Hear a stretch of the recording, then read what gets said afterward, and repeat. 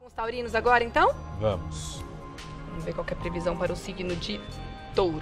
Deixa eu tirar daqui. Carta de Euá. Essa é a divindade que fala da força, da coragem, do entusiasmo, do magnetismo. Tá. Ao mesmo tempo que mostra que uh, o taurino precisa uh, ter força, ter equilíbrio e tudo que ele pensa, tudo que ele pensar, aliás, né, ele pode se tornar, deixar com que isso se torne realidade. Esse é um momento de realização, taurino, onde os seus esforços passam a ser recompensados e reconhecidos também. Né? Agora, o que, que eu acho que o taurino precisa prestar atenção essa semana, Rê?